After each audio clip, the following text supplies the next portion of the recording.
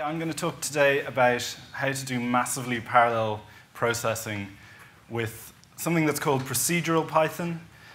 And we'll get on to why that is, uh, why it's called procedural Python later on. But the idea is that uh, I'm going to just show you a few little things, a little demo with an IPython notebook, and hopefully it'll run because it's actually live talking to a database somewhere in America. So, um, as was said, I'm a data scientist at Pivotal. And Pivotal is a relatively new company. It was formed last year out of parts of EMC and VMware. Just quickly, if you haven't got these links, um, there's the IPython notebooks in that GitHub repository, and then there's a rendered version down there. I'll put these slides up on the, the web later on. So what is Pivotal? Well, Pivotal was formed out of lots of different parts of two companies, as I said, EMC and VMware. And the idea is to try and bring together some of the sort of big data components of those two companies. So there might be a lot of things you've actually heard of before, but never really connected with Pivotal. Um, so things like Pivotal Labs, our agile software development team, um, things like Cloud Foundry, our platform for cloud-independent apps. And if you're a Java programmer, you've hopefully heard of the Spring Framework. Uh, well, millions of Java programmers use it every day. And then we've got things like our data layer. So or a data fabric as we call it, which includes the Greenplum Analytics database, a Hadoop distribution like everyone else, and also things like our in-memory uh, database system called Gemfire and SQLfire.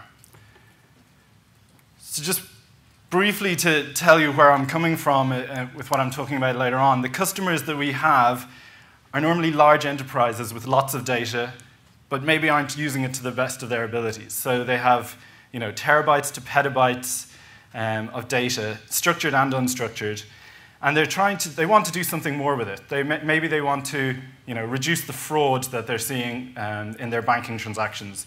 Maybe they want to understand their customer better. Maybe they, maybe they want to you know, sell more clothes or understand how fashion is changing week to week and month to month.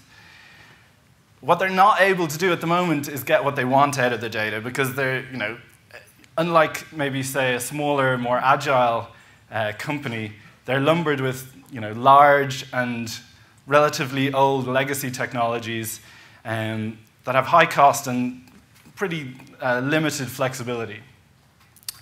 One of the main things we see when we go into a company is that the response times for doing you know, some data science or interactive uh, data analysis, the response times are really low, so are really you know, long, I suppose. So you send out a query and it comes back, you know, in six hours or the next day or something like that. Whereas really what we want to help enable our customers do is to get down to interactive data science. So, you know, I'm putting in a query and I'm getting something out uh, so that I can try the next query. So I can, you know, fail quickly and uh, get on to the next query fast. Just quickly, uh, a few other things you might have heard of that Pivotal uh, is part of or contributes to or provides support to are things like uh, Redis, RabbitMQ, Grails, and Groovy. Um, and in fact, we now have one of the, the main Hadoop committers uh, as part of our team. There in the middle, we have this Madlib library that I'm going to talk a little bit more about. Um, and if you want to know how to interface with Madlib through Python, there's this wrapper called PyMadlib that one of my colleagues wrote. Um, that enables you to do that. Madlib is an open source machine learning library for use on large scale, um, massively parallel databases. In fact, it works with Postgres, it works with uh, Greenplum, and now also works on some Hadoop frameworks like uh, Impala and HAWQ as well. So when we go into a customer engagement, what sort of technology do we have on our side? Well, normally, um, because I work for Pivotal, we have something like the Greenplum database or our Hadoop distribution um, with HAWQ, which is a SQL on Hadoop um, solution. There are open source options for all of these things. So there's a Greenplum Community Edition and a, a H Pivotal HD Community Edition. As I said, Madlib is uh, completely open source. But where does Python fit into all of this? Well, we use Python in the same way that a lot of you do maybe for exploratory analysis in IPython using you know, NumPy and SciPy and pandas and matplotlib. But we also use this other thing, which is PL Python. So this is a way of leveraging Python inside a database. Um, so you already have your massively uh, parallel database, you know, large, it costs a lot of money, it's very large, it does lots of computation very fast. We want to be able to enable you to use Python, not just, you know, some SQL or SQL-like language in there. And the benefit of using PL Python is that we get to use all the great packages like NLTK or scikit-learn and all those things inside the database. We don't have to bring the data back locally to our laptop to, to enable those uh, analyses. And that's one of the big themes for us is um, bringing code to the, to the data, not bringing the data to the code. You know, obviously that gets more important the larger the data sets you're looking at. Okay, let's, let's switch then to the IPython notebook and see if that works. okay, so we've probably skipped a little bit of the intro, but basically the idea is that you have a Postgres database, and now you think about how can I make this work better with larger amounts of data? Well, if I had 20 machines or 100 machines, I could put Postgres databases on all of them and then have a master node that actually connects to all of those and tells each of those what to do. So when you submit a query, you submit it to the master node. That parses the query, figures out where the data lives on that distributed computing system, and then sends the queries down to those distributed systems, gathers it up together, and gives you the answer. So, you know, the simple way to think about something like the Greenplum database is to think of Postgres living on a cluster and being controlled by some master node. Okay? And where PL Python comes in is that PL Python is um, basically allows you to write functions for your database that aren't in SQL. So in SQL databases, you normally have things called user-defined functions, UDFs. It's a way of writing um, SQL, you know, some query in SQL that you then wrap in a function and can call repeatedly. PL Python is a way of writing a Python function inside that SQL wrapper. Okay?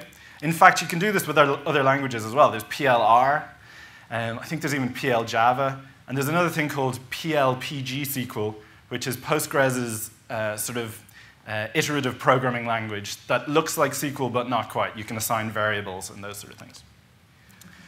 So obviously we won't get the interactive bit here, but you can see what's going to happen. Um, so first of all, this whole thing is a bit, uh, it's a bit confusing because what I'm going to be doing now is I'm going to be using an IPython notebook to call some SQL database using SQL, pure SQL that pure SQL, in the middle of it somewhere, will have a little bit of Python. So there's actually layers of Python SQL to Python again. And the way we're able to do this is with this really handy um, little uh, magic command called IPython SQL by uh, Catherine Devlin, and there's a, uh, it's on GitHub, so you can go get it. But what you need to do, first of all, is just load, load the magic command. And then I'm just going to connect to my database. And if you work in large databases, you normally create a schema. It's just like a sandbox to uh, keep all your, it's like a namespace really, to keep all your namespace together. Okay, so first of all, let's look at what, uh, put this a bit bigger, what a, a normal user-defined function looks like, okay? So obviously the syntax highlighting doesn't quite work here, but the idea is that you have some simple SQL commands, like create function, you give it the name, and you give it the type of, of uh, argument to put in here, an integer, an int. Tell it what it's going to return, again, an int. And then in between these dollar signs, these two dollar signs, this is the actual body of the function. So here it's super simple. It's select two times my first argument. Okay? So as you might imagine, when you run that, you get, you just do, because we're in SQL, you have to use a select you get select the function and some argument, and the answer you get out is 20. So it works.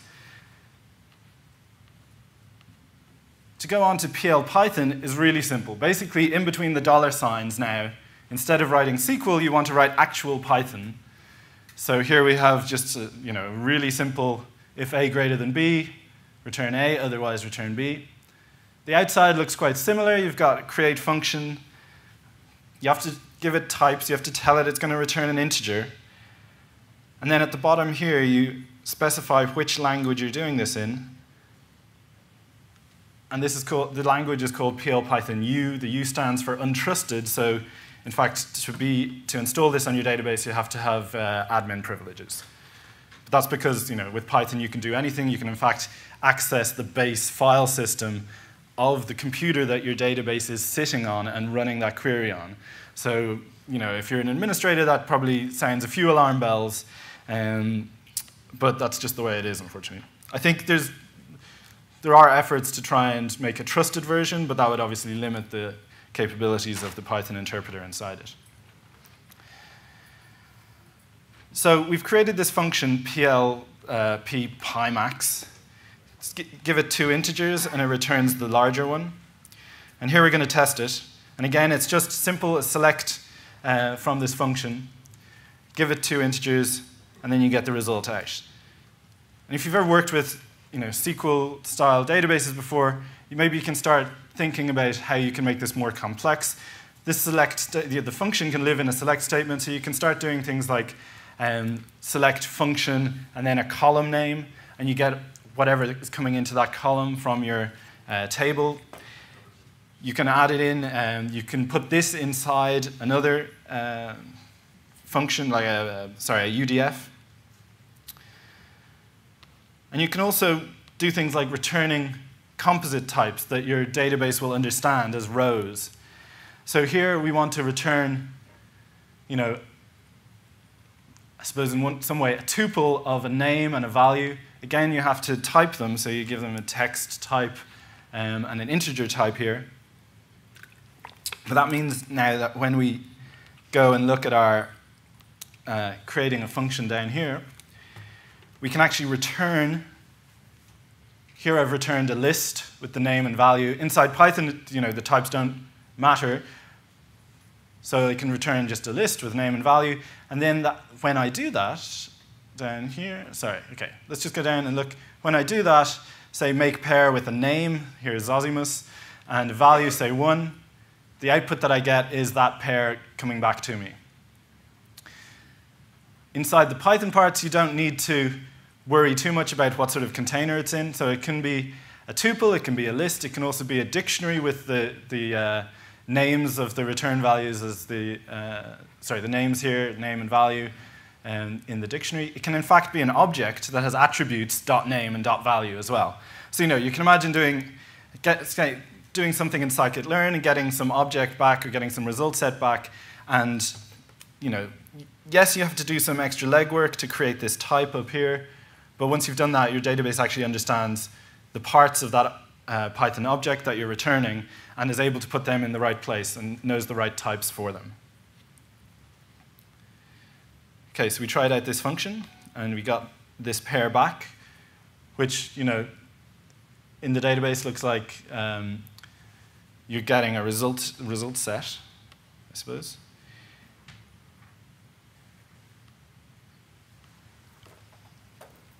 The next thing I want to talk about is how you can actually, um, well, first of all, you can note that UDFs and PL Python functions um, are allowed to have multiple function signatures. So previously, my function had a name and a value. And down here now, we're just, just using a name. Um, so sometimes people use this sort of maybe, uh, well, I don't know. They, they use it to overload the function to do things like provide help. You know, SQL isn't a nice uh, programming language like Python where you can just introspect things um, or you can, you know, find uh, co comments inside the function or doc, doc comments or whatever.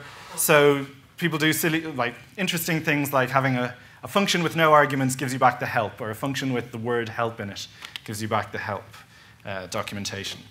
Okay, but apart from that, we can also, as I said, leverage the power of Python packages inside these PL Python calls. Now, to do this, you have to have installed the package and all its dependencies on each of the nodes of your database. So, you know, I'd recommend doing that with some kind of package maintainer, maybe Conda, something like that.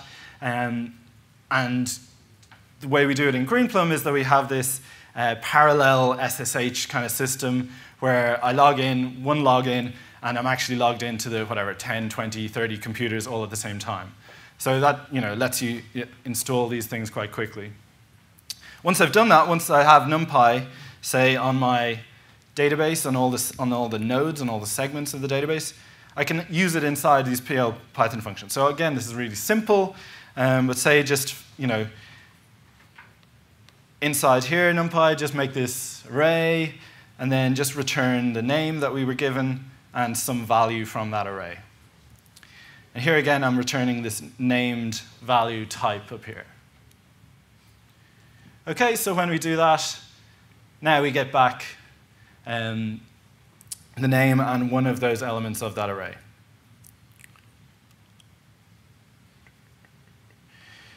So one thing to know about, to note about uh, SQL databases, the calling semantics for these functions, whether they're, uh, where they are in the select statement, are they part of the from clause, um, or are they at the beginning, actually affects how the results come back to you. So before we had select, make pair, Horatio, or whatever, and we got the back the results as a, I suppose, as a tuple in some ways. If we in fact do select star now, we will actually get back the columns um, and you can reference those then in a, you know, in a further outside query, or you can put them straight into a table, um, or you could do all those sort of things. So you know, the database has now understood that there's two values, name and value here, and we can do whatever we want with them after that. So I've only so far returned one result. So you know, one line of, uh, I've sent a query out, I've got one line back of a result. Can I get more than that? You know, if I do a complicated, um, uh, complicated query, complicated uh, numerical calculation, I'll probably get a lot of results that I want to get back and store in my database. How do I do that? Well, that, the easiest way to do that is return a set of something. So that just tells the, the database that, in fact, there's going to be more than one query. So be ready to get like, has, however many rows are going to come out of this query by the end. So here again, if I import NumPy, I can return here three different query or three different results. And the way they come back is just at, if I do, again, select star, the way they come back is at three different rows of the result set for my query.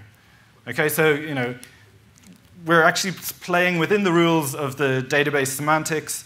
Um, this allows you, as I said, to, to put these things together, and put it in a subquery, save the results into a table, and all those things that you would do with standard SQL results anyway, you can do with these, uh, with these Python functions. Okay, but you know, that's great and all, we can use it to, to run some Python, but what, why do we want to do this? Well, really the reason we want to do this is to leverage the parallelization possible when you have this large distributed system. So, you know, Pivotal, we, we have this data computing appliance where we have, um, what is it, six, 16 uh, blades, each with four cores. So once you start leveraging that, you can actually get quite large speedups in how you do queries. One of the main things you need to think about, though, is that your data is going to live on this database, but in different places. How you distribute that data is actually very important. So whether you distribute it by one column or another can make a large difference because if you end up doing a query which, um, for example, joins, say we have users, uh, sorry, say we have customers, orders, and uh, customer information. We have customer information in one table, we have order information in another table, and we want to, to join those two tables together. If we keep all the customers um, you know, alpha alphabetized across my system, but in fact the orders are done by order number, then each time I want to join those two tables together, we're going to have to go find which order uh, refers to which customer, maybe go to a different machine with all the network traffic that that entails to find the customer name and then get their information. Whereas if I distribute my data across the uh, system based on, for example, a customer ID value, so all the customers with ID values 1 to 10 are on, are on node 1, 10 to 20 are on node 2, like that.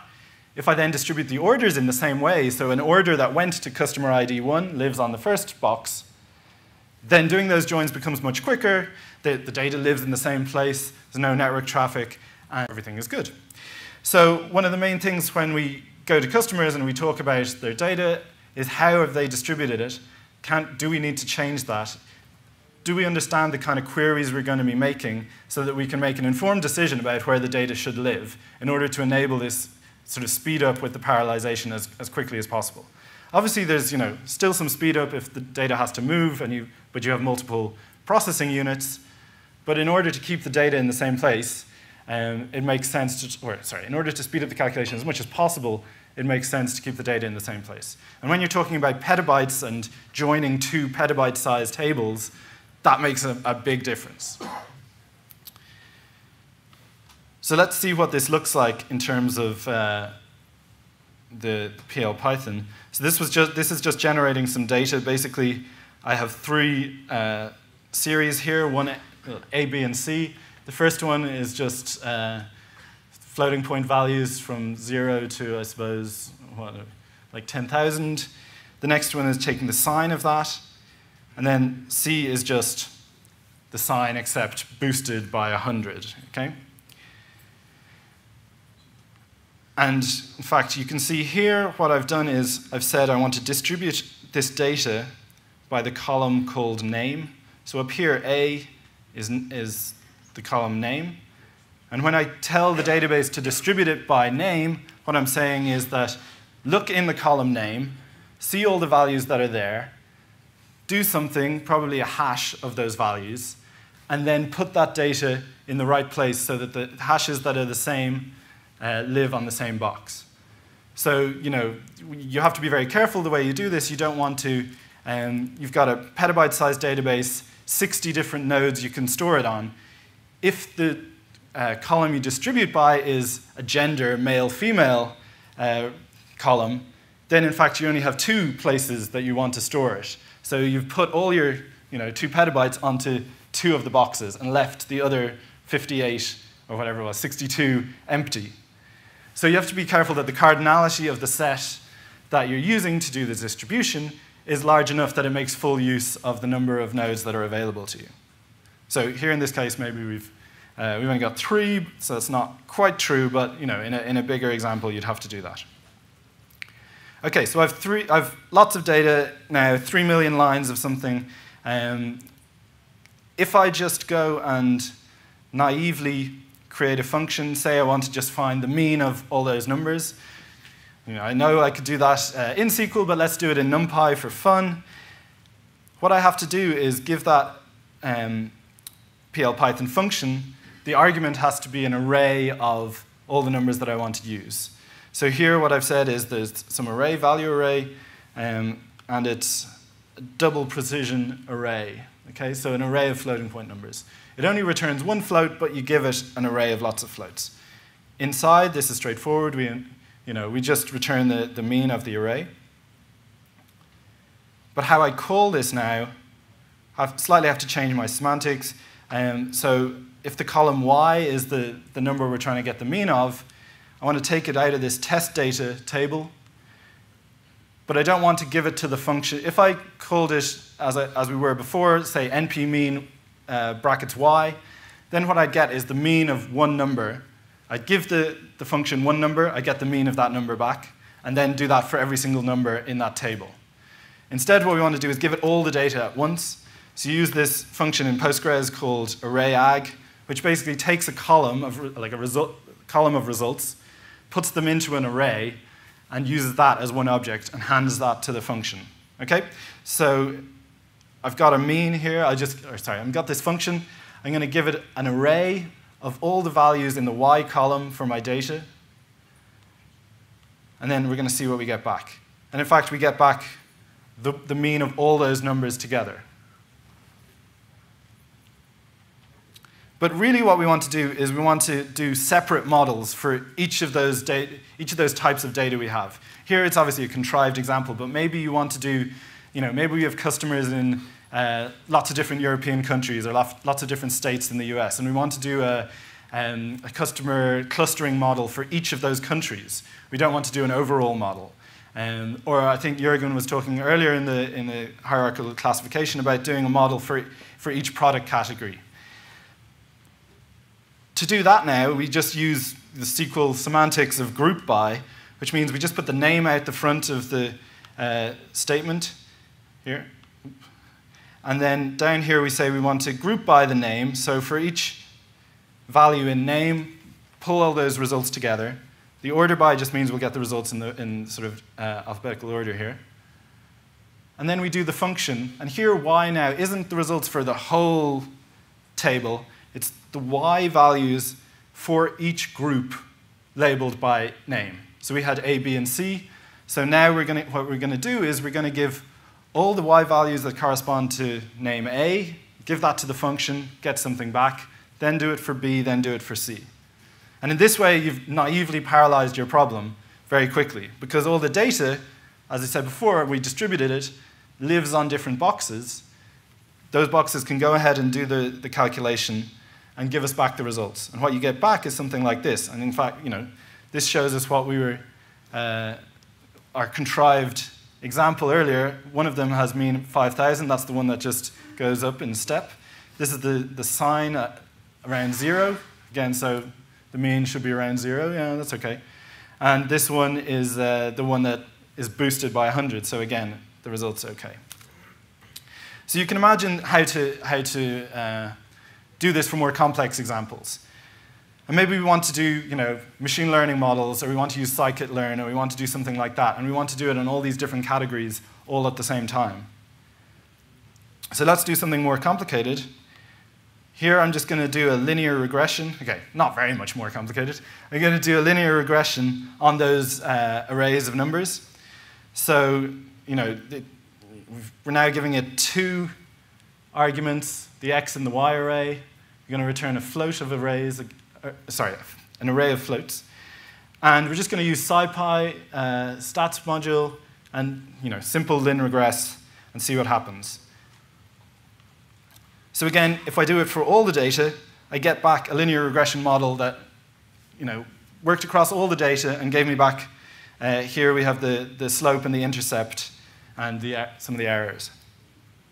But I know that I want to do this model not, as I said, not for all my customers across Europe, but I want to have an individual model for each country, or I want to have an individual model for each uh, product line, or I want to have an individual model for each type of bank transaction, something like that. Can I leverage the power of the parallelization to do all those models in parallel? And yes, I can. So uh, as we had before, simply use the group by semantics. So you have name, the function, and then group by down here. And I will go off, run your Python uh, SciPy lin linear regression on each of those arrays. And what you get back as the results are the three results for the linear regression. In the first case, yeah, well, we actually, yeah, it is pretty much a straight line with this slope going up. In the second case, it's picked out um, you know, the, the horizontal, horizontal line that goes through the mean of all the, the uh, sine functions. And here we can see that it's actually picked out for the third case, uh, the y-intercept is 100 as we had put in in our data. Okay, so that was really the end of my little demo. Hopefully we've used up enough time that I don't need to try and get my slides working for the rest. Um, if you want to see what I was supposed to talk about from my PowerPoint, um, come up and talk to me afterwards or uh, connect with me on Twitter. It's just at Ian Huston, H-U-S-T-O-N. And I'm going to take a few questions now then. So thank you. Yeah.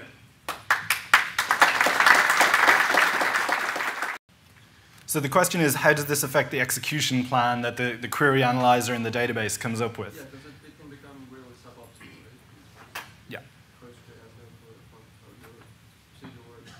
Yeah, exactly. So the, uh, if you have a, you know, a large database, you have an execution or a query planner that looks at the query you're trying to do and tries to figure out the best way to do it. It does not know about Python. Um, it knows that there's some function it has to call. It doesn't know how long it's going to take. And it, you know, if you think about it, it can't really unless it understood um, you know, all the insides and outs of Python and all the packages and NumPy, etc. So no, it doesn't, the query plan doesn't understand. The query analyzer doesn't understand the, uh, the cost associated with doing these things. You know, I think basically you're given the power. You know, you've got a full Python interpreter inside uh, each node of your database now. You could do anything. You could start writing files to disk. You could do all that sort of stuff. It's given you a lot of power, and with that comes a lot of responsibility. But would it collect uh, statistics and try to estimate uh, So would it, like once you've done it once or twice, would it try and collect? I'm not sure. I can check. I don't think so. I think it kind of thinks of it as a black box. Um, you know, you can imagine there being difficulties because uh, it's not concrete what, how, what the runtime is going to be each time you call this function. Like sometimes it might be very quick, sometimes it might be very slow, depending, excuse me, depending on the inputs, depending on what's actually happening inside. So I have a feeling it just, it just kind of takes a step back and says, uh, you know, you're responsible for running this query and knowing how long it's going to take. Yeah. It was a good question. Any other? Yeah. You talked about moving the um, execution to, to, the data rather than moving the data to the execution. I'm wondering what sort of um, throughput and scalability you get from that? Are you not restricted um, with number of clients that can throw queries at the system? So I suppose yes, you are. You're going to have to have some way of uh, handling those, and you know there is a, um, a queuing system uh, for clients connecting to the database. Basically, everything's handled by the master node. The master node, you know, dictates to uh, everyone who's trying to connect what's going to run, and you can have a, a proper scheduling system with higher priority queries versus lower priority queries. So obviously, you know, you want some queries to be run immediately. Some queries are maybe you want to slow down. The way, you know, maybe taking a broader view, the way we think about um, doing analytics is that you should try and have an analytics environment that enables you to do interactive queries. And it probably shouldn't be your uh, production batch environment that is doing, you know, the payroll at the end of the week or whatever it is. You don't want your data scientist to think he can't run a query because he's worried that he's going to stop, you know, the pay slips being delivered the next day. Um, so yeah, it's an important thing to, to figure out. I think um, sort of cost benefits you get from um, being able to bring the code to data mean that you know speed up just the process for uh, data analysis and data science so much that actually uh, in, you know instead of trying to bring all the things to your, your laptop which obviously will crash at some point um, I think the speed up we get is worth the, the, sometimes, you know, sometimes there's a bit of chat on the email list about, you know, who's running that query, why did you let it keep going, please can you cancel this, like, you know, it's, it's run amok, can you, can you shut it down, that sort of thing. Yeah? Yeah, um, just startup costs. So depending on your machine, you know, if you're setting your laptop and you type IPython PyLab, you might be counting to, I don't know, three, four, five before it starts up. Yeah. Now, obviously, the goal of your you know, analytic platform, as you say, for sort of sandboxing is, is true interactivity, and you, you, you type a query and it comes straight back. Um, is there a way to sort of get a Python interpreter to be sitting there with all that stuff already loaded, and then when it gets the code, it just goes, ah, I already know NumPy, I already know, you know, scikit-learn, whatever, whatever the, the, the, the libraries are. Because that seems like that should be possible, right? It should be possible to have it sitting there and ready to go with, with, the, with, the, with the stuff loaded if you tell it ahead of time. But I don't know how you would do that. Yeah, so I, I, the question was, can I uh, have a Python environment that's ready to go and loaded up with all the libraries, whatever, and I suppose inside the database on each of the segments. And yes, that brings up a good point. Each time you run this function, you're actually creating an interpreter that has to load everything, and you know, if there are loading costs associated, then they, they factor in. interpreter itself is not small. Yeah, yeah, exactly. So I think, you know, it, this way of doing it, that's not the way it's set up.